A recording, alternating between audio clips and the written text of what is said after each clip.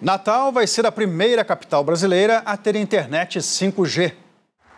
O anúncio foi feito pelo ministro das Comunicações nesta sexta-feira em São Paulo. Na semana que vem, Natal vai ser a, vai ser a primeira cidade.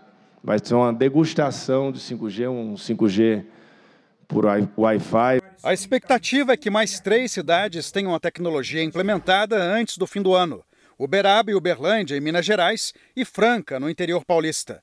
Segundo o ministro, a implantação do 5G deve ser antecipada principalmente pelos provedores regionais de internet. Acredito que nós teremos o 5G coberto aí em várias cidades muito mais rápido do que a gente imaginava.